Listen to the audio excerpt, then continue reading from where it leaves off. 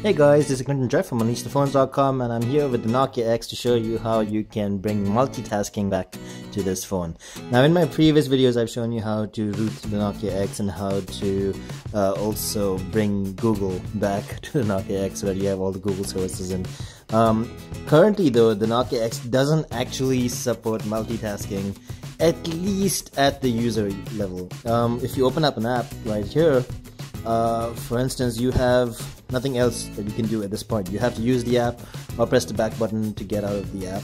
Um, and this happens with all the apps on the Nokia X. Uh, no matter what app you load up, um, even if you long press the back button, it just exits the app and goes back to the launcher. So, technically speaking, it looks like the Nokia X does not have multitasking capabilities.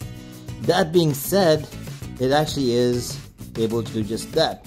It's a little app called Multitask Shortcut. Um, it puts a little shortcut to your recent apps menu right over there.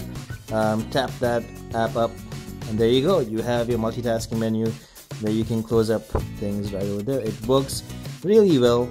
Um, and as you can see, you can switch between the Google Now launcher uh, if you follow my guide, and you have the little shortcut right over there I put on the home screen um, so that you can actually manage your multitasking way better.